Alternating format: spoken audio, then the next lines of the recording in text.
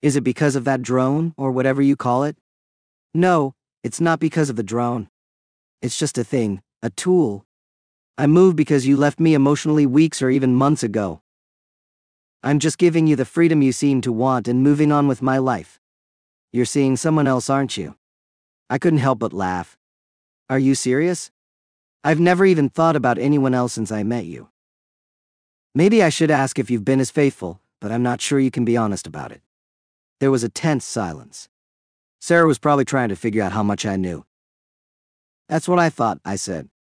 Sean, I always. Stop it right now, I interrupted. Don't you dare say you've always loved me or been faithful. I'm done with this. You can't leave me. We've been married for 20 years. We have a grown son. Her voice was on the verge of sobs. We can meet later this week, or over the weekend to talk about what to do next. I don't want to do this over the phone. We both deserve better. I'll call you in a few days, but you can start looking for a lawyer. I ended the call and went to the trailer to start marinating two thick pork chops in soy sauce and herbs, getting them ready for the grill when Stephanie arrived. Having done that, I read the next few chapters of Dan Brown's Origin, the fifth book in the Robert Langdon series, while listening to the water below. I was lighting the grill when Stephanie arrived. This time she came out of her car with a package of beer, wearing yoga pants and an oversized blouse. I noticed how the blouse, though clearly too big for her small frame, seemed to hint at some insecurity. Still, she looked great to me. She smiled at me. Hey, I'll be right back. She went into the trailer and came out a few minutes later, still smiling and holding two bottles of beer. She handed me one. I took a sip and said, I hope you don't think I drink every day or use alcohol to handle stress. I actually drink very little beer, but I appreciate your choice. You've managed to pick two of my three favorite beers. I'm not a big drinker either, Stephanie said, looking at her bottle. I like wine more than beer. But you mentioned you like beer last night, so I thought it'd be nice if I brought some.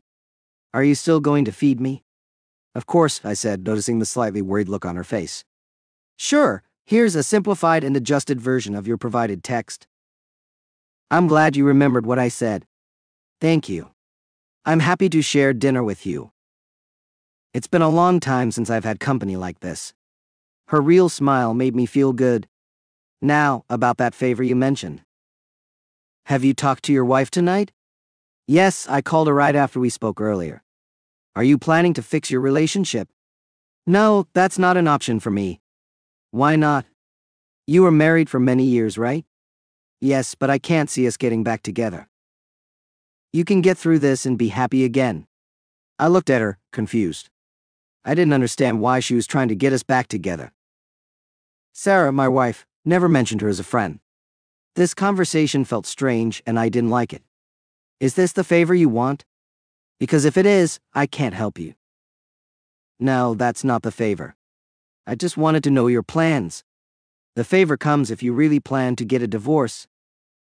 I've already started the process. My lawyer wrote the papers today and will file them tomorrow. I want to send them to her at her job as soon as possible. I want to send a message to Sutton about what he did. Are you filing for divorce because of cheating? Yes. So here's the real favor. Stephanie looked like she was thinking hard. I waited for her to speak. She said, Why don't you check if the grill is ready and we'll start dinner? Then we can continue talking. And also, we need more drinks. Both our bottles are empty. I set up the grill, then went back to help Stephanie prepare the food. Red potatoes, corn, and asparagus with garlic for our grilled chops. I took the marinated chops outside to start cooking. Stephanie came out with two new bottles, handing me one. Finally, she spoke. I met with the district attorney today. We're going to charge all four real estate agencies. But we need a video to do that. If you file for divorce now and use the video for evidence, it will reveal what we have before we're ready. But that lawyers will get everything you have anyway. True, but we can control when they get it, which helps us a bit. So you're saying we should think about the many more than the few? Stephanie smiled. I laughed at the familiar quote.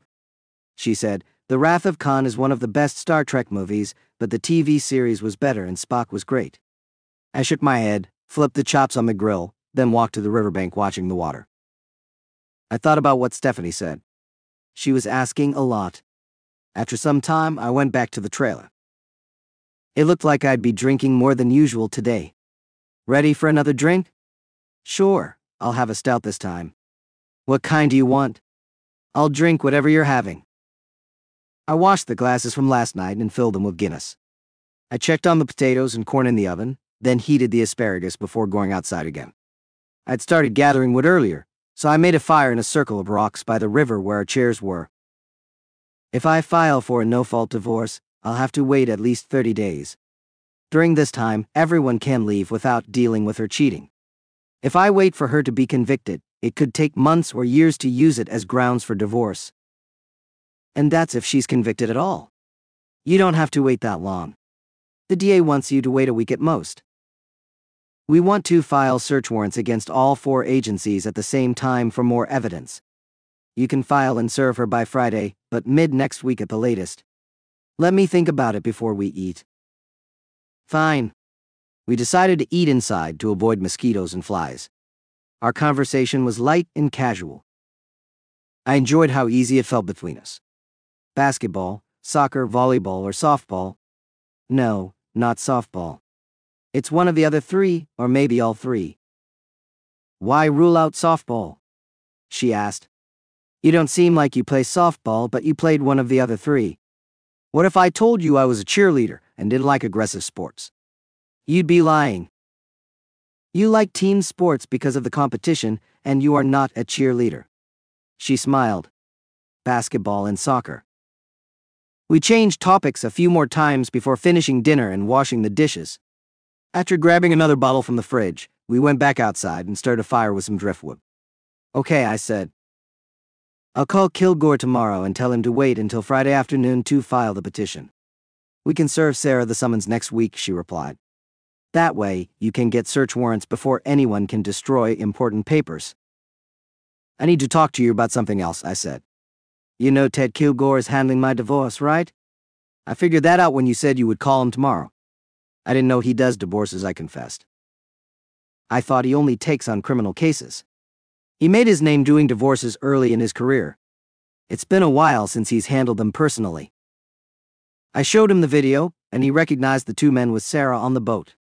They're members of his country club. This was before I knew about the investigation. He assured me that I am his main client and he has no ties with anyone in the video or the Sutton agency. But I don't know who else you're investigating, so I can't be sure. I trust him not to mess up your case, but it's up to you. I wanted you to know he's involved, I said. Yes, that's important to know. I'll need to talk to the DA about it. I don't want to know when you plan to execute the warrants, and considering my connection, I shouldn't be too involved, she replied. I agree, I said. After a while, our conversation quieted, and we just listened to the sounds of the night. It's getting late. You can stay again if you want. Are you going to be a scout again? I looked at her, hoping she understood. Stephanie, I don't have much to offer other than my word. Despite everything Sarah did, I made a promise. Until the paperwork is filed and she is notified, I must keep my oath. If I don't, I'm no better than a traitor. I am so flattered that you're interested, and it took all my willpower not to pull you into the bedroom this afternoon. I hope we can spend more evenings together soon. But for tonight, I will be a scout. If you stay, you'll sleep in the bedroom, and I'll be on the fold out bed. I finished with a smile. She looked a bit let down, but her voice had a happy note. I hope you have another Pink Floyd shirt. I left the other one at home. I'm sure I can find something for you, I said. I made sure the fire was out and the coals were safe. Then I folded the chairs and put them under the table cover and we went inside to get ready for bed. What makes you think I wasn't a cheerleader? She asked. Were you? No, she replied. But why are you so sure I wasn't? You're happy to show off your legs and butt in shorts or yoga pants, but you wear baggy tops. Most cheerleaders I know like to show off their chests. And by the way, you're wearing my Pink Floyd shirt. Your breasts are amazing and you shouldn't hide them. She smiled, hiding her blush as she looked at her hands. The next morning, I woke up to the click of the bedroom door. Stephanie smiled as she walked past my bed to the bathroom. A few minutes later, she came out wearing my old black Led Zeppelin shirt. It's your turn to cook breakfast, she grinned, then went back to the bedroom. I liked the idea, so I got up, put on my gym shorts, and preheated the oven. I laid out some bacon on a rack and then did my morning routine in the bathroom. When I came back, Stephanie was at the sink, cracking eggs into a bowl. Too many cooks in the kitchen, I joked. I know, but you were taking too long, she said with a smile. After breakfast, she asked if I was still putting off filing for divorce. Yeah, I'll call Ted when I get to the office. I'll probably meet Sarah after work tonight. I want this over with as soon as possible. Maybe then I can check out the barn and think about turning it into a workshop. Are you thinking of staying here for a while? She asked. Yes, I replied. I think so. I like it here. Hunter said he might sell if I wanted to stay. Maybe I should talk to him about it. It suits you, she said, wiping the table. I smiled and put the last dishes away. I don't know how I'll feel tonight after talking to Sarah. Stephanie put the towel down and sat. I hope I didn't give the wrong impression. I'm not looking for a relationship. I like to have fun, and I don't handle jealousy well. I know you've been watching me these last few days. When we eventually get together, I doubt we'll sleep much. I'm not seeking anything exclusive. You're focused on what's important, and I like teasing you. Your strong standards show your good character and make you even more appealing.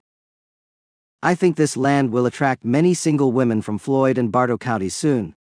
She laughed and said, Just remember, I showed interest in you first. She winked. I smiled slyly back at her. Actually, you were the first to show interest in me. Really? Well, I need to try harder then. We laughed and finished cleaning. I'll be back shortly, Stephanie said as she walked out. She returned with a duffel bag and a garment bag. As I tucked my shirt into my pants, I asked, Did you come prepared this time? Forget your nightwear. I like wearing a man's shirt to sleep, preferably a long sleeved button down shirt. Hint, hint. Got it? Fresh or already worn. I don't like hanger creases, she said, placing both bags on the bed. I laughed. You're trying to get me into trouble. If I wanted to get you into trouble, I'd do it right in front of you. Or at least leave the door open with these words. She closed the door. I opened the gate. She drove by, talking through the open window. I won't go out tonight, but call me if you want to talk. Okay, I locked the gate behind me and headed to the office. I checked the duty board, picked the cases needing the most attention, and started my contacts and interviews.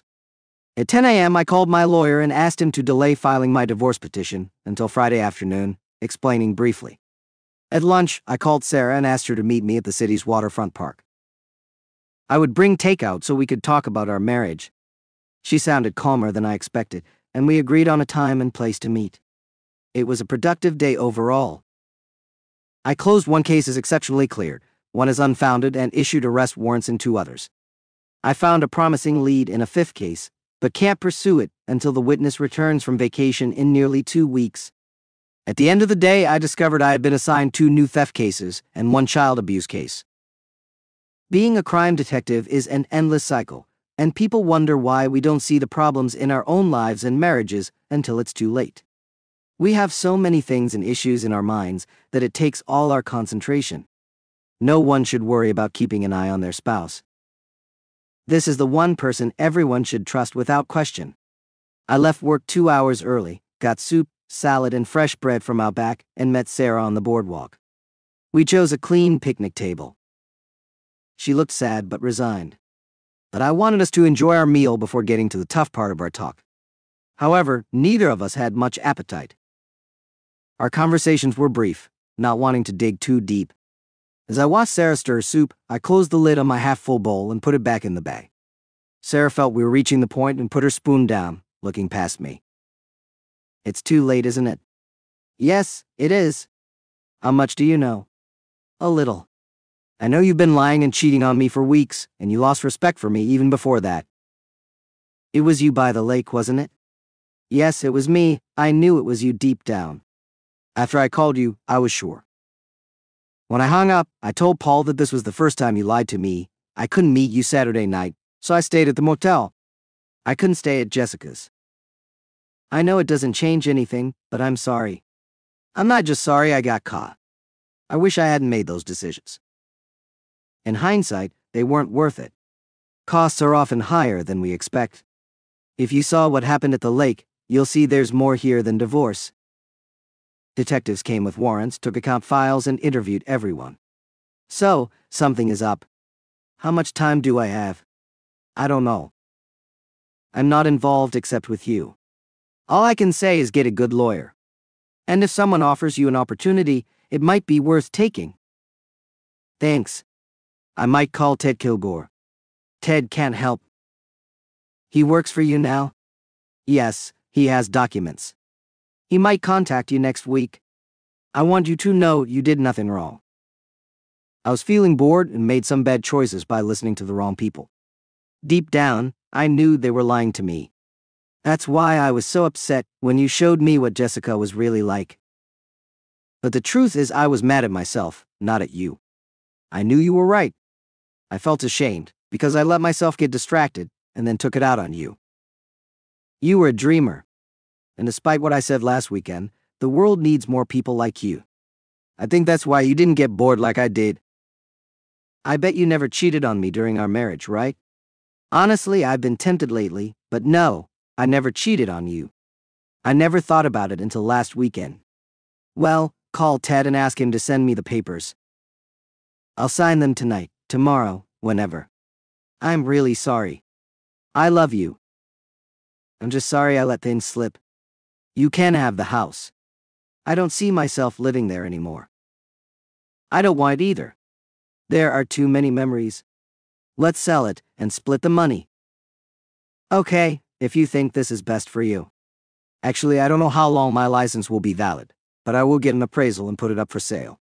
How badly do you want to sell it? Just make sure someone can call it home. Whatever suits you. I said, I will contact Donovan and set up a Zoom meeting when he is available so we can tell him the news together. Hopefully, it will be easier for him this way than hearing it from someone who doesn't really know what's going on. She nodded, looked at me with teary eyes, then turned and walked to her car and drove off. I picked up our trash and threw it in the dumpster before getting in my truck and heading home. Once home, I sat in a folding chair by the river. I called Stephanie and told her about my meeting with Sarah. She confirmed what Sarah said about the search warrants and agreed there's no point in delaying the divorce any longer. I don't know how much of her opinion was personal, but I called Ted after talking to Stephanie. My lawyer assured me he would file the papers on Wednesday morning and serve Sarah with the notice in the early afternoon. It was still light when I finished my calls. Sitting in that folding chair, watching the river flow became my favorite thing to do. I decided to make another call and open my contacts list on my phone.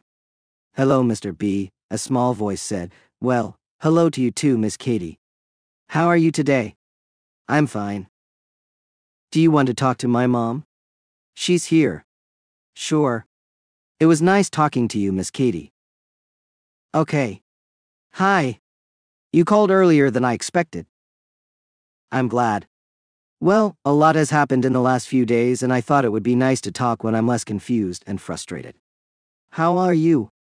Everything is fine here. Nothing special is happening. What about you? Are you handling things? Yes. I moved on Sunday.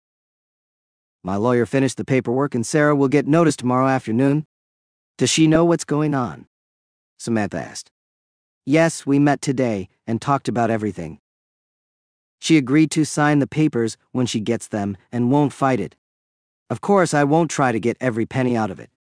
I just want to start over and let her do the same. Besides, I think she has bigger problems than just the divorce. Understand? Can you talk about this? She asked. Maybe later this week when things are clearer. I'm not in the middle of this conflict right now. Well, I just wanted to check in, see if you disappeared after giving me the wrong number on Saturday. I was a bit confused and you could have told me anything then. I didn't even ask about you, not even your name, you should have offered it before I left and gave you the number myself. I wasn't in the best condition. I still don't know where you live. I usually stay between Rome, Taylorsville, and Cartersville, I said, laughing briefly in surprise. You'll give me a complex if you keep reacting like this every time I tell you something about myself, she said, amused. I'll explain everything someday. If I try now, you'll think I'm making things up. Okay, I'll accept it for now, but not for long. I heard her smile. Well, part of it is that we might be five miles apart. I'm renting a place on Harding Bridge Road by the river just below the boat launch. Oh, I know that place. There's a piece of land with an old barn. I go there because it's so beautiful and the surprises keep coming, I said gloomily. What? Samantha asked, confused. Why don't you come over? I think I know where you're talking about, and I'll meet you there. Okay, see you in ten minutes. I stood by the open gate when a black Nissan Juke slowed down and Samantha Kelly drove through the gate with wide eyes. She rolled down the window and looked surprised. This is it? This is the place I was talking about. There's a barn, and there must have been a house. And this is where you live. Yes, I'm renting now, though I'm thinking about buying the land. I live in a camper through those trees. Follow me, I walked about 70 yards to the camper while Samantha drove slowly beside me. When we got there, Samantha helped Katie out of her car seat and we both shouted, Stay away from the shore. When the little four year old girl ran around to the front of her mom's car, we both smiled and said at the same time, Remember middle school? It made us laugh out loud. We sat down at a picnic table under the shade and talked.